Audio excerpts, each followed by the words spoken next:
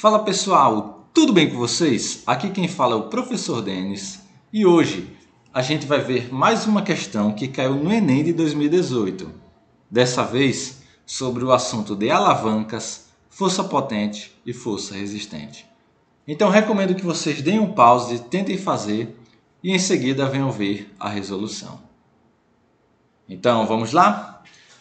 A questão diz o seguinte: as pessoas que utilizam objetos cujo princípio de funcionamento é o mesmo do das alavancas aplicam uma força, chamada de força potente, em um dado ponto da barra para superar ou equilibrar uma segunda força, chamada de resistente, em outro ponto da barra.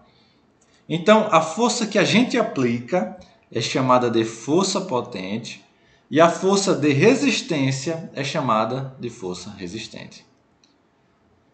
Por causa das diferentes distâncias entre os pontos de aplicação das forças potente e resistente, os seus efeitos também são diferentes. A figura mostra alguns exemplos desses objetos. Aí temos o alicate, a pinça, o carrinho de mão, o abridor de garrafa e o quebra-nozes.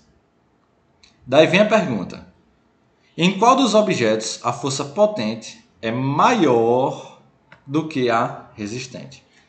Em outras palavras, ele está perguntando quando que a força aplicada é maior do que a força de resistência.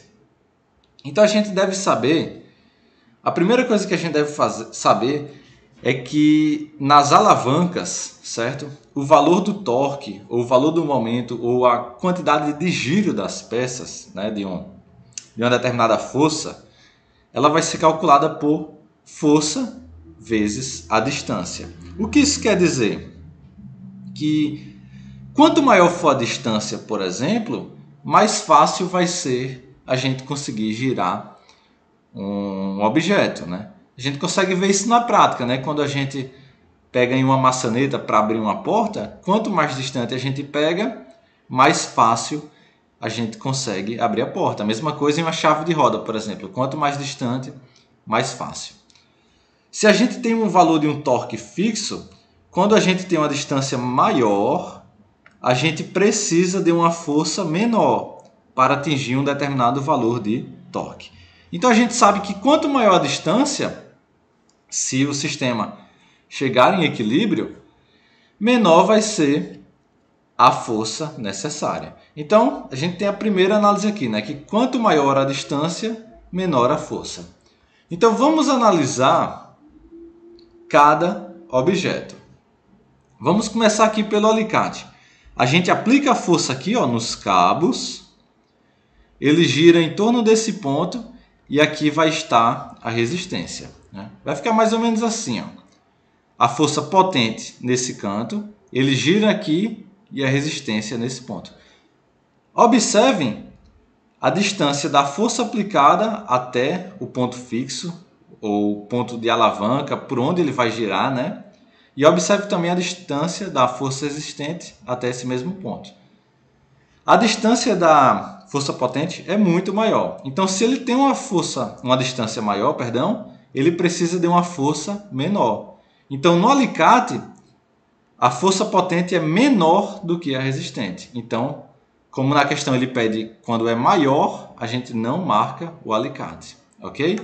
Então, o alicate não é. Vamos para o carrinho de mão. A gente aplica a força aqui, ó, para levantar ele. Tem uma força de resistência aqui para baixo, que seria o peso. E aqui nós vamos ter o ponto de apoio. Aqui no carrinho de mão, a distância da força potente é maior do que a distância da força resistente. Então, como a distância é maior, eu preciso de uma força menor aqui.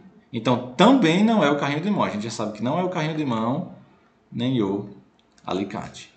Né? Porque, afinal, ele pede quando que a força potente vai ser maior e não menor, como foi nesses casos. Daí vem a pinça. Aqui vai ser o, o ponto de apoio, né? o ponto fixo. A gente aplica a força aqui ó, e a força de resistência é nesse canto.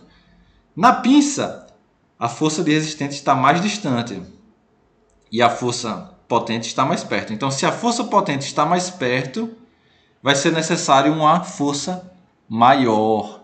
Então, a gente já sabe que pela análise vai ter que ser a pinça.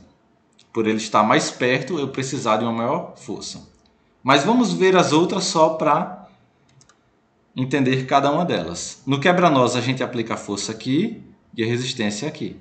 No quebra-nozes, a força potente está mais distante, eu preciso de menos força. Então não é o quebra-nozes.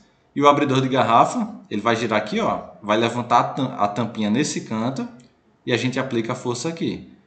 Então, a força potente está mais distante do ponto de alavanca, então ele também precisa de uma força menor. Então, o único que satisfaz é a pinça.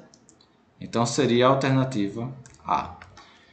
Questão respondida. Se você entendeu, se você gostou desse vídeo, deixe um joinha, se inscreve no canal. Aqui nós respondemos muitas outras questões do Enem. E é isso aí. Bons estudos, até a próxima. Valeu!